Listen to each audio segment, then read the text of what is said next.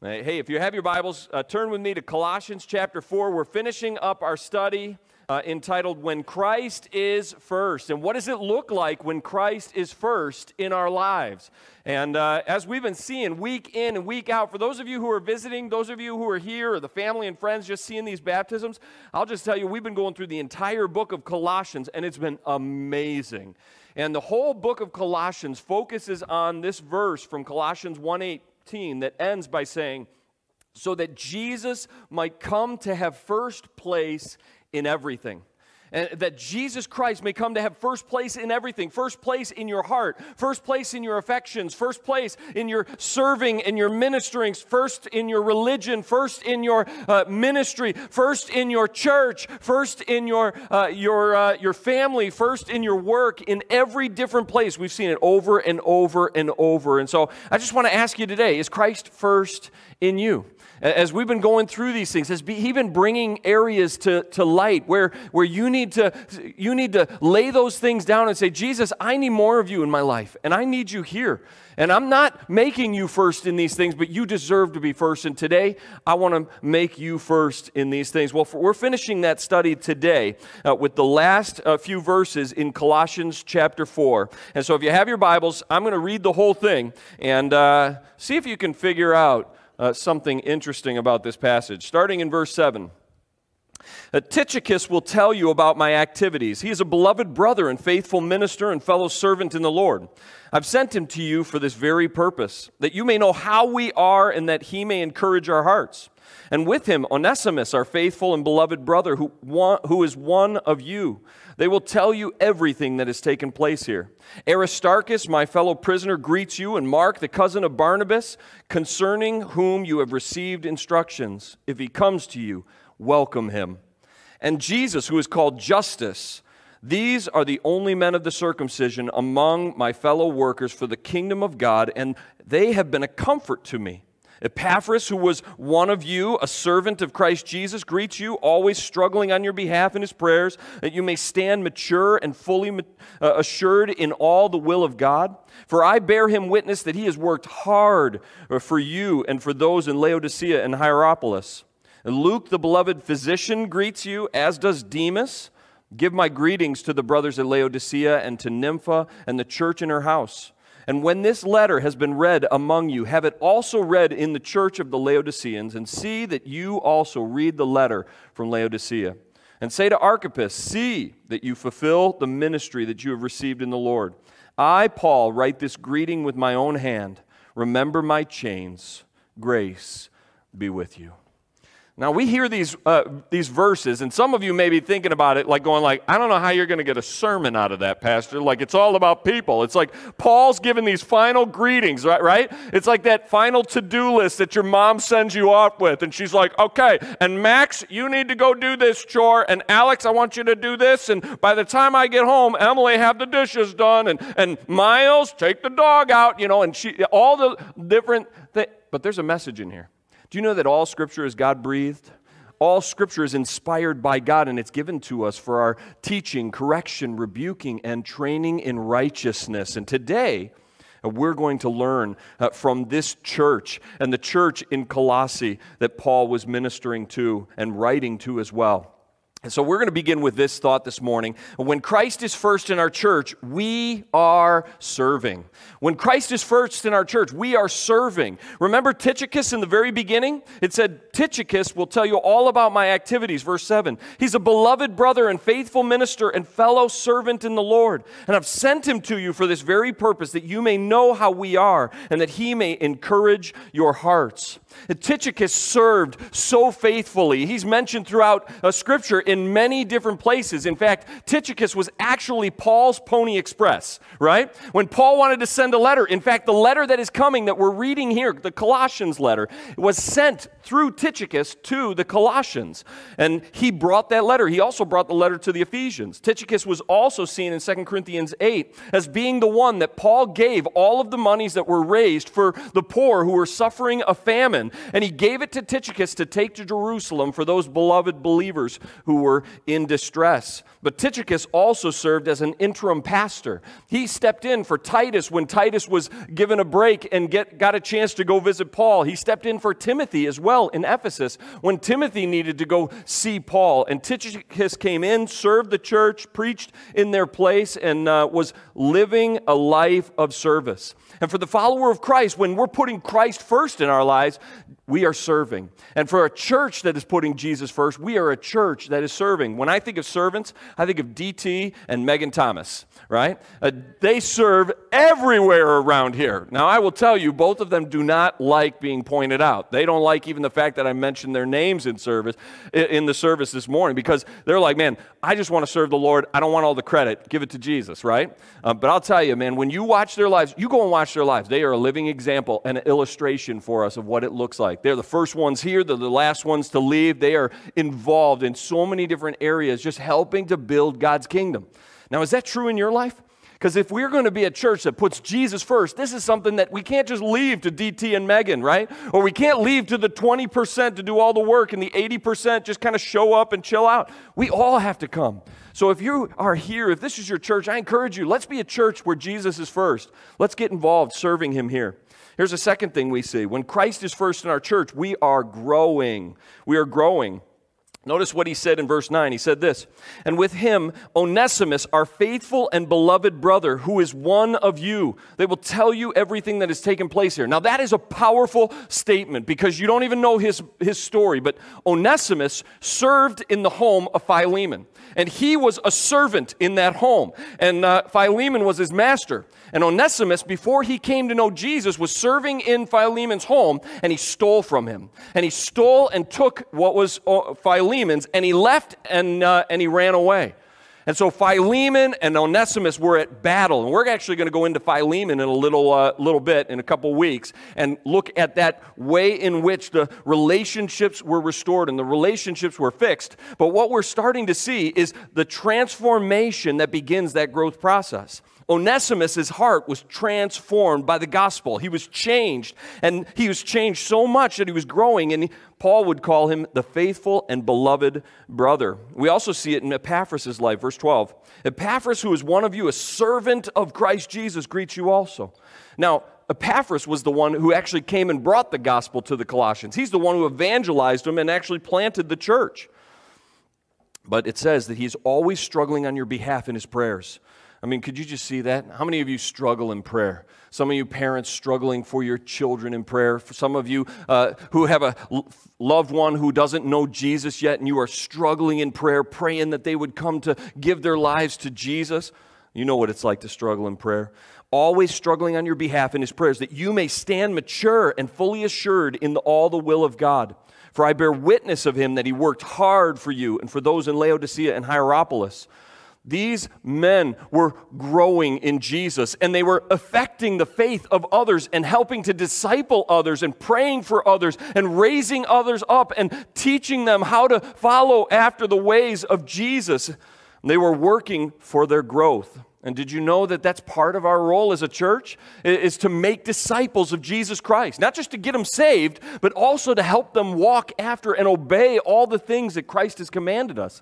And there's that growth factor. And if we're going to be a church where Jesus is first, it's, we need to be a church that's growing, a church that is growing, not necessarily outwardly. Now, sometimes that happens. Sometimes when God is doing a work in an area, many more people are coming and He's adding to their number day by day. But this is not speaking just of external growth or numbers growth. This is talking about heart change. This is talking about life change, the kind of change we saw from these baptisms, the kind of things that we were hearing of people's lives before Christ. And then that moment when Jesus showed up, whether it was was in the Apostle Paul kind of moment like Jared, or it was just in the faithful witness of parents like Carwin. Just to hear of how God transforms a life and to continue to grow and to see how compassion became more of the heart and how judgment was left by the wayside and we didn't walk around with this air that I'm God and I know what it. There's a humility that's being birthed. We're growing in Him. When Christ is first in our church, we are growing. Are you growing? Are you growing? Are, are, are, you different today than you were a month ago, uh, three months ago, five years ago, because you're following after Jesus, responding uh, to his spirit, and learning his word and growing in walking in that? Are you growing? Man, if we're going to be a church that honors Jesus, that puts Jesus on the throne and Jesus above all, we got to be a church that is growing. Here's a third point we see. When Christ is first in our church, we are willing to suffer. We are willing to suffer. Look at verse 10. It says this Aristarchus, my fellow prisoner, greets you. So, this is the guy who's chained next to Paul. This is the guy who is in prison. Paul is in prison while he's writing this very letter to the Colossians, while he's sending them his love, sending them the goodness of the Word of God to them. Aristarchus is there with him, and they are chained in prison for the name of Jesus, for sharing the gospel. Man who is willing to suffer for the name of Jesus. But it goes on. And he says this He says, And Mark, the cousin of Barnabas, concerning whom you have received instructions, if he comes to you, welcome him. And Jesus, who is called Justus. Now, there were some people in the Bible who were named Jesus when Jesus walked the earth and when Jesus uh, was crucified. And more often than not, um, not like today, where we name them Jesus because, or Jesus because we want to honor Jesus. Back then, they were like, There is no one else like Jesus. I'm not going to be called Jesus. So they took on a surname, they took on a a different name. And so they called this Jesus Justus. So he wouldn't be known uh, uh, in the same line as the one and only Jesus. Jesus, who is called Justus, meaning righteous one. That's what the church named him. These are the only men, Paul said, of the circumcision, meaning they were Jews, right? These were Jewish believers. And he said, These are the only men of the circumcision among my fellow workers for the kingdom of God, and they have been a comfort to me. Now, uh, Mark and, and Aristarchus and Justus, these guys were willing to suffer for the cause of Christ. They were so willing to suffer, in fact, that they, well, um, especially for, uh, for Mark and for Justus, these Jews who came to know Jesus, for them to, uh, to put their faith and their trust in Jesus and to claim the name of Jesus when they believed in Jews, uh, the Jews, for them they would get greater persecution, they would get greater suffering, and it was putting a mark on their back that everybody was going after them because they had turned away from what they had been taught and embraced this Messiah. And it gives us an example that when Christ is first in our church, we are willing to suffer. We're willing to suffer. Now, that's not a popular message today in, in, in, um, America. In America, we want to we wanna be happy, we want to be healthy, we want to be wealthy and wise, right? And, and how can I get more of that in my life? And yet, the Bible says that in this world we will have trouble. In fact, Jesus told his disciples those very words. He's like, You should understand, like, it's not going to be easy. And if you choose to follow me, it's not going to be easy. So it's not a cakewalk. It's not like, Hey, come to Jesus because he makes everything better and your life perfect and happy and gleeful.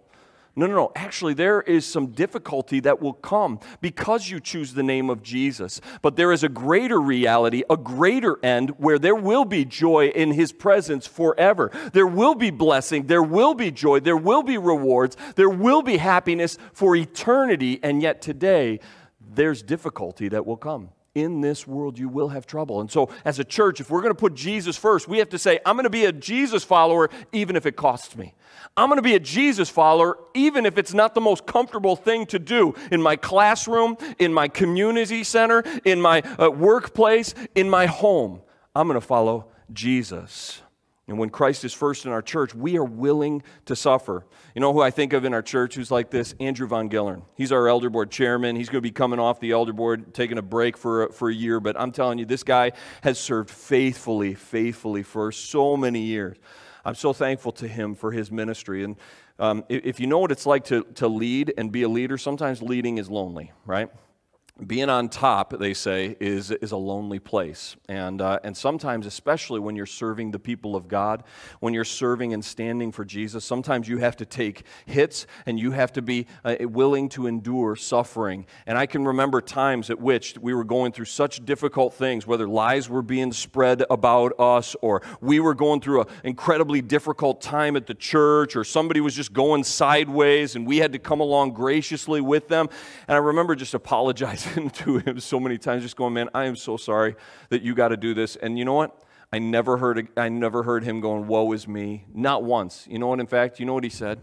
He said, "I don't know why, but I think God made me for this." right? And, and then I was like, You're weird. no, no, I didn't say that. No, I, no, in fact, my respect and my admiration for him went through the roof because I'm like, he knew the calling that he had on his life. And he knew that in his heart and his, his life, Jesus would be first. And he said, Man, I'm going to do what it takes for Jesus to be church, first in this church, even if that means that I've got to suffer or it's difficult from time to time. Are you willing to do that too? Are you willing to take the cost that it is to follow Jesus? Are you willing to uh, take that cross life or that cruciform life, that life that is like Jesus, where he said, If anyone would follow after me, let him deny himself, take up his cross, and follow me? For if anyone would find his life, he must lose it. But if anyone loses his life for my sake, he will find it. Friends, are you willing to take up that cross life? Take up your cross daily and follow him? When Christ is first in our church, we are willing to suffer. Here's a fourth point we see. When Christ is first in our church, we are forgiving. We are forgiving. Now, doesn't that just feel good in your heart? I don't know about you, but as soon as I hear that, I'm like, man, how desperately we need more forgiveness. How much forgiveness is needed in the body of Christ today? I mean, how much has has, have we seen churches broken and, and destroyed and ripped apart and their witness just put into the ground and become dust because no forgiveness was extended, and yet we see it exemplified here. We, we already read about it a little bit, but, but let's go back to that. Let's go back to that forgiveness. Verse 10 says, Mark, the cousin of Barnabas, concerning whom you have received instructions, if he comes to you, welcome him. Now, friends, you have to understand what this is. For, for, for Mark, Mark deserted Paul and Barnabas when they went on an earlier journey. Mark was brought along. Mark was involved in their ministry. He was very young. He didn't know anything about ministry, but he had a whole lot of zeal. He's like, I'm going to go after it. And Paul and Barnabas brought him along. And, and, and, and as, as they started uh, sharing the gospel, all of a sudden persecution came and difficulties came. And Paul began to lean on Barnabas for his encouragement and lean on Mark. And in the midst of, once he started to lean on Mark, Mark was like, This is too hot for me. I don't want any of this. And he bolted and he left. And he deserted them and left them to be persecuted alone. I'm sure Paul's heart was just broken. I'm sure he felt betrayed. I am sure he felt like he just was abandoned in the midst of difficult ministry or significant ministry that was going on. And yet, that wouldn't be the end. Somewhere along the way, Mark repented. Somewhere along the way, Mark looked and, and he saw what he did and he's like, I was wrong. Somewhere along the way, he went back to Paul. He said, I'm sorry I did that. I was wrong. And by God's grace, I'm never going to do that again. And so he began to serve with Barnabas. Paul wasn't ready to trust him yet because he wasn't worthy of that trust yet.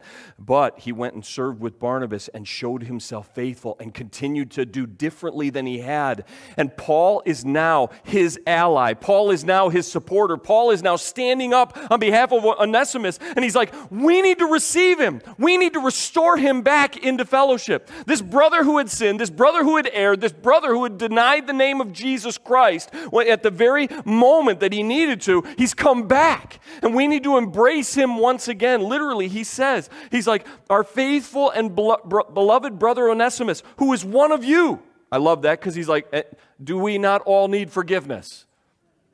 Yeah, amen, right? We all say that with a heavy heart, going, Yeah, I need it today. I needed it yesterday. I needed it this week. I needed it last month. I need it like all the time, right? He's one of us. That his story is us, that we need that. Oh, excuse me, I'm on Onesimus, but let's go to Mark. Uh, some of you are probably like, why are we talking about that guy now? Right. You were on, I was off. Mark, the cousin of Barnabas, concerning whom you have received instructions. So Paul gave instructions to them. If he, if he comes, welcome him. Welcome him. Don't shun him for his sin anymore, but receive him back to yourself.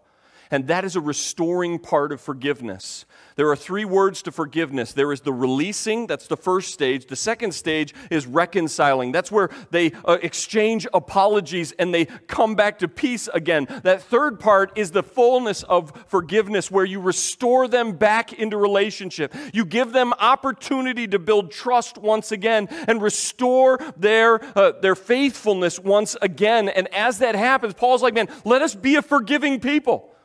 How many times has somebody hurt us and we're like, I will never let them go, right? Because you feel so violated or you felt stolen from or it hurt so deeply or it kept going on over and over and over and you're like, I will never forgive them.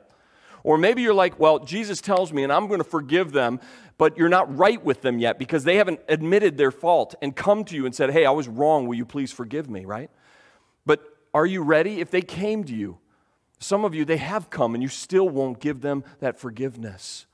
Friends, as a follower of Christ and as a church that wants to put Jesus first, we are doing what He did for us and forgiving them, extending that forgiveness when they come and ask, and even allowing them the opportunity to rebuild that reputation once again and to rebuild that equity, to welcome them back into friendship, to welcome them back into fellowship. Now, we don't give them a full, a full uh, measure of just the doors are wide open. We're going to put you back in leadership. You're going to go on another missionary journey journey. No, no, there's steps and there's stages. But as, as followers of Jesus, we have to aim for restoration, as the Apostle Paul said at the end of Second Corinthians. Aim for restoration, which is the fullness of forgiveness.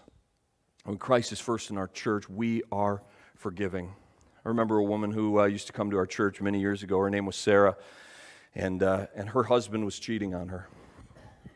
Her husband had been cheating on her, and he been cheating on her multiple times. They came in for counseling. And as you can imagine, their, fam- their marriage was, you know, hanging on by a thread.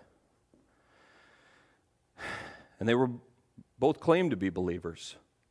Sarah began to show it in, in just amazing ways. Now, in that situation, the Bible would actually give permission for there to be divorce, to, to divorce the, the, the offending brother or sister. But she looked at it and she said, Look at what God has forgiven me. And so she said, I'm, I'm willing to forgive. I'm willing to forgive. I want to continue to work at this. I want God to be glorified in our relationship. And she forgave him. And he did it again. Came back into counseling. We were working on it. Forgiveness, even when it hurts, even when it's hard, she was willing. If, if we're going to be that kind of a church, we have to commit to one another. You have to commit to me, but I have to commit to you. I'm going to forgive you when you hurt me. And I'm going to ask the same of you. Will you forgive me when I hurt you? When I sin against the Lord, will you forgive me? And when you sin against the Lord, I will forgive you. Let's continue to be a church of grace that recognizes that the reason Jesus came wasn't for a bunch of perfect people who would just, you know, clap that he was here and, well done, Jesus. No, he went, came because he, he knew there was a bunch of people who needed forgiveness, and he offered it to us. And that's the story of these baptisms. That's the story of our lives. That when Jesus came to earth, he came to give the forgiveness that no one else could give the forgiveness from God Almighty, our Creator. He gives a forgiveness and a peace that lasts. Will you be part of that? Let's make Christ first in our church and, and forgive one another. Here's another point this morning that we see. When Christ is first in our church, we are stewarding our gifts. We are stewarding our gifts. We're stewarding our gifts. Look at uh, verse 14. It says this Luke, the beloved physician, greets you uh, as does Demas. Give my greetings to the brothers at Laodicea and to Nympha and the church in her house. And when this letter has been read among you, have it also read in the churches of the Laodiceans and see that you also read the letter from Laodicea. Now, friends, what we are seeing there is we are seeing people who are willing to use their gifts for the name of Jesus. Luke was a physician.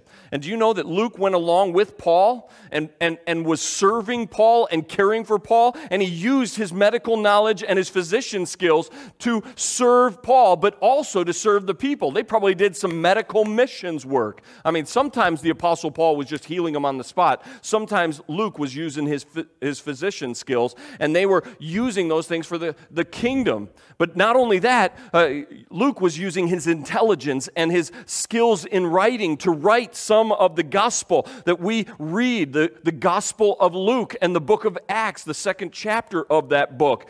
That is the work of Luke, using his gifts for the sake of the church and stewarding those gifts for his kingdom. And when Christ is first in our church, we're stewarding those gifts. But don't forget about Nympha. Nympha was an awesome lady, man. She was a powerhouse. This lady, I don't know if she was a single lady or if her faith was just so strong, like that's how she got known. But when, uh, when uh, the Colossian church uh, began to be uh, birthed, she opened up her home so they could meet there and they could do church in her home. And the church was birthed in her house. So she is giving of her home, she's giving of her resources, she is hosting people in her their own house so that the church can grow. And that's what happens in the life of, of people whose lives are transformed and they're like, man, Jesus is first now. Jesus is first. They're like, my stuff doesn't belong to just me. My stuff now belongs to Jesus. How can I use it for your namesake? Uh, Luke could have been like, well, my, my total identity is as a doctor, and everything I do is as a doctor, and I'm a doctor, and I do doctor stuff. No, his identity was changed and he's like i have doctor skills that god gave me the intelligence for and i worked very hard for but now these skills are at the use of the king and i'm going to use that to bless god's people. I'm going to use that to help others come to know jesus. Is that true in your life? Are, are you uh, using the things that god has given you and stewarding those gifts for, uh, for the kingdom? Man uh, the people that come to my mind first off are dave and marianne hatton so, uh, just we got to see your uh, testimony today, and I know you guys don't want any praise for this, but you're an example to us. And I just love how our examples live out these, these things. I mean, Dave, you are a, uh, uh you are a, a, certified financial counselor, you, uh, you give wise counsel to people. Dave, the guy gets paid for this, but he ends up teaching a class here that tells everybody everything he knows. Well, most of what he knows, or some of what he, probably a small little bit. But he's giving it away for free for weeks after weeks after weeks, giving away this financial counseling. That's like, the, that's like Luke was. That's using what you have and going, man, it, how can I bless God's people? How can I bless the church? Or Marianne, she has such a heart of serving. And if Marianne didn't reach out to James, I wonder if James is in this church, and I wonder if James is in the baptistry getting baptized. Well, I wonder if James would know a love from, uh, from a woman when he didn't have it from his birth mom, and now he has and, and seen it in Marianne. Now he's seeing it in his real mom. Like, that's how the church continues to grow when people are taking their gifts and using them for the cause of Christ. You've been given a gift too. Not just physical gifts and material gifts. You've been given those, sure. But you've been given a gift as well. And maybe you sing. Maybe you have the ability to teach. Maybe you're just a hard worker or an administrative person. Maybe you're somebody who serves behind the scenes. You're like, I don't ever want to be on stage. God can use you to build this church.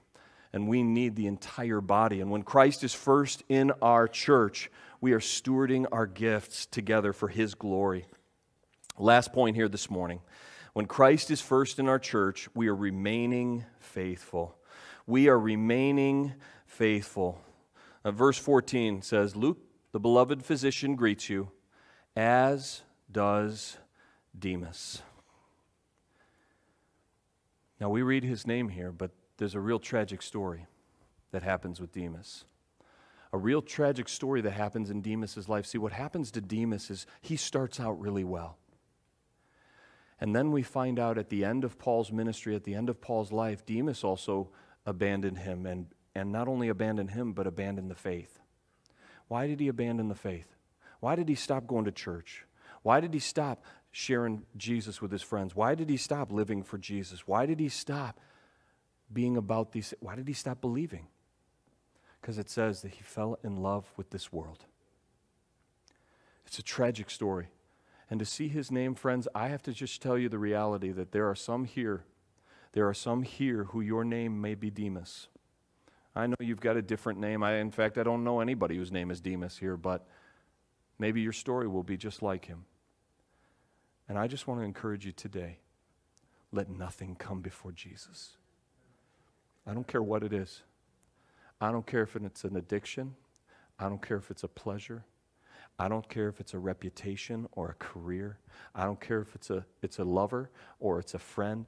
There is nothing in this world that is more precious and valuable and beautiful and soul satisfying than Jesus Christ. And friends, I will just plead with you, hear me today. We need to continue to draw near to Him we need to continue to draw near to him. And some of you are coming back today. Some of you are hearing these testimonies and you're turning from your sin today. You're going like, I got to get I got to get right with you. I got to get right with you, Jesus. And that is awesome.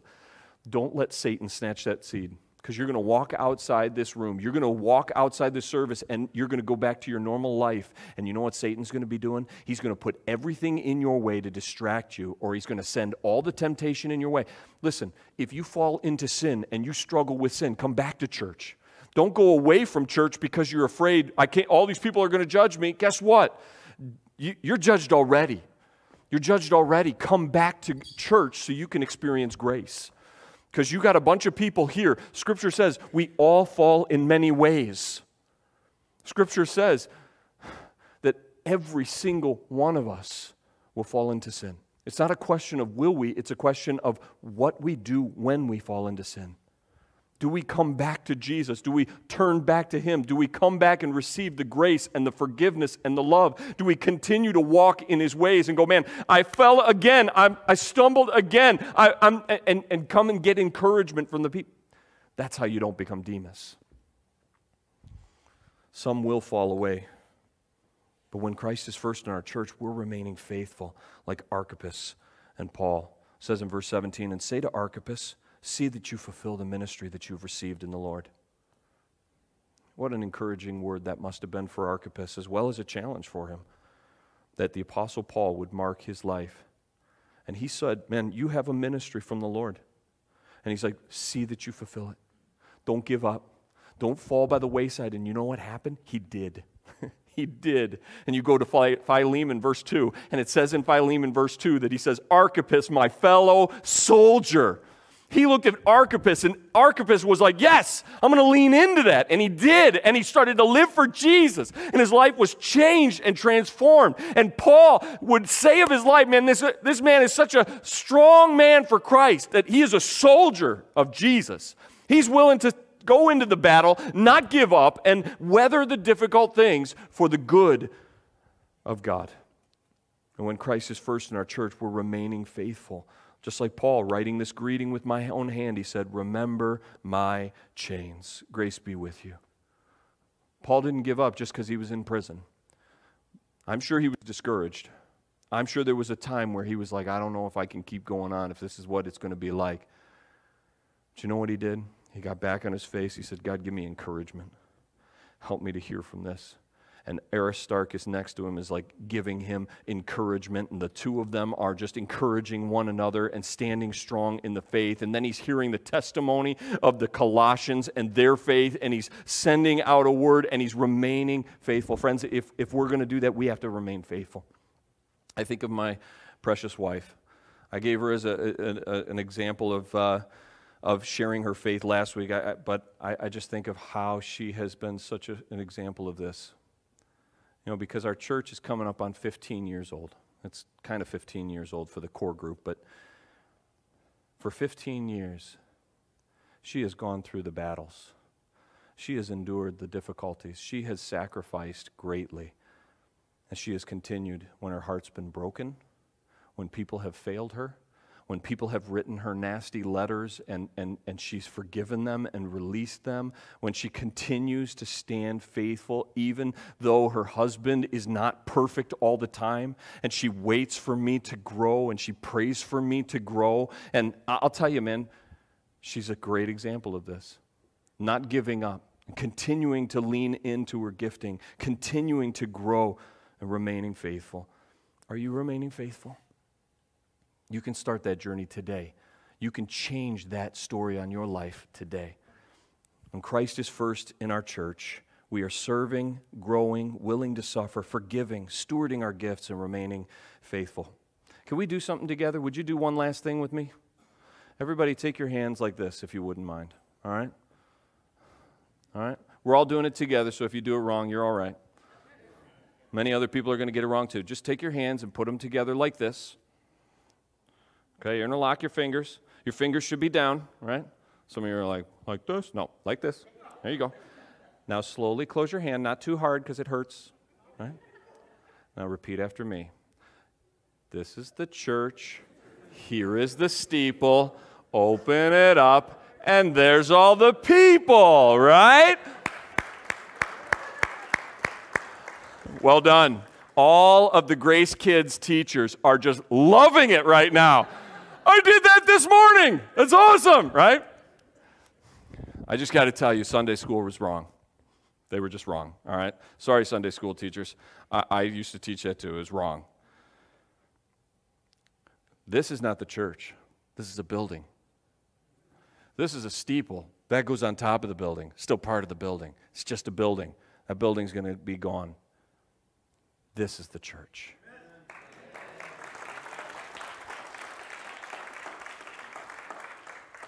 This is the church. This is the church, and they are a people who put Jesus first. Are you part of that church? I hope you are. Let's pray.